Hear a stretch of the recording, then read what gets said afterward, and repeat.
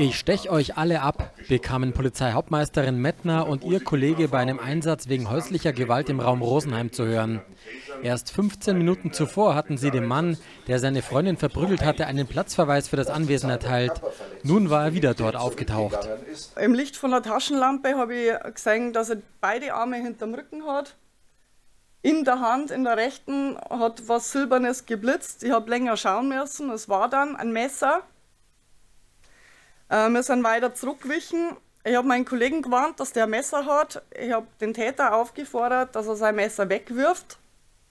Hat er nicht gemacht. Er hat die Hand vom Rücken nach vorne genommen und ist mit dem Messer vor dem Bauch auf den Kollegen zugegangen. Ähm, ich habe dann das Pfefferspray eingesetzt. Circa ähm, eineinhalb Meter vor dem Kollegen hat es gewirkt. Und der Gewalttäter konnte verhaftet werden. Insgesamt 7.689 Fälle von physischer und psychischer Gewalt gegen 17.367 Polizeibeamte in Bayern gab es 2018. Höchststand seit Beginn der Aufzeichnung 2010. 2566 Polizeibeamte wurden verletzt. Es kam zu elf versuchten Tötungsdelikten. Während der Tat standen 66,5 Prozent der Tatverdächtigen unter Alkohol- und/oder Drogeneinfluss. 2018 wurden insgesamt 6.563 Tatverdächtige registriert. 909 Tatverdächtige waren sogenannte Mehrfachtäter. 4.366 Tatverdächtige standen während der Tat unter dem Einfluss von Alkohol oder Drogen.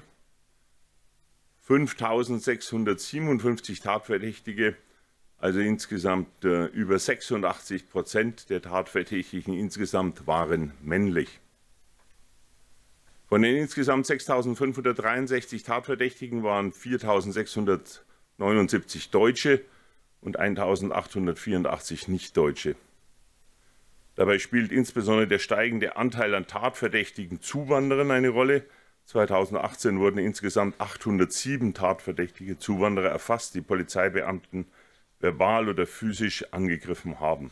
Für die DPOLG Bayern ist dieser neuerliche Rekordwert nicht hinnehmbar. Politik und Gesellschaft sind gefordert, dass Gewalt gegen Polizeibeamte wieder abnimmt. Wir haben ja vor einigen Jahren das Thema Bodycam auf den Weg gebracht und die Bodycam äh, ist im Pilot gelaufen, auch in verschiedenen Verbänden, äh, wird jetzt auch äh, verstärkt eingesetzt. Äh, davon versprechen wir uns sehr viel. Äh, die Erfahrungswerte zeigen auch, dass die Bodycam im Einsatz durchaus äh, Gewaltpotenzial verhindert, denn das Gegenüber sieht, die Kamera wird eingeschaltet, dann werden sie etwas zurückhaltender, vorsichtiger. Problem ist lediglich der Alkohol. diese Hemmschwelle Alkohol, da hilft die Bodycam teilweise auch nichts mehr. Ähm, das zweite ist natürlich der Taser, dieses Distanzimpulsgerät, was jetzt aktuell im Pilotversuch ist. Äh, auch hier äh, weiß man von anderen Ländern, dass gerade beim Einsatz des Tasers äh, die Widerstandshandlungen massiv zurückgegangen sind. Also England ist ein Thema. Also auch hier versprechen wir uns sehr viel. Aber da müssen wir jetzt halt warten, bis das Gerät Taser insgesamt im gesamten Streifendienst mehr aktiv ist.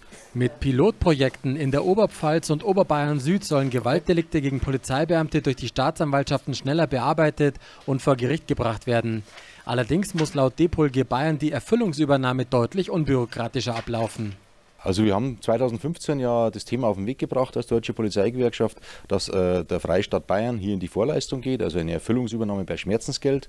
Äh, leider ist es so, dass die derzeitige ja, die derzeitigen Hürden, die das Finanzministerium da eingebaut haben, sehr hoch sind. Äh, die Kollegen sehr lange auf ihr Geld warten oder teilweise ihr Geld gar nicht bekommen. Äh, hier fordern wir ganz klar eine deutliche Vereinfachung. Äh, Im Prinzip braucht man nicht unbedingt den Titel erwirken. Das müsste deutlich einfacher sein, das Schmerzensgeld zu bekommen. Aber da sind wir auch in Gesprächen mit dem Finanzministerium und wir erhoffen uns, dass da jetzt auch nach diesem Zahlenmaterial vielleicht auch da mal der, der Groschen fällt und das Finanzministerium sagt, wir vereinfachen das Ganze.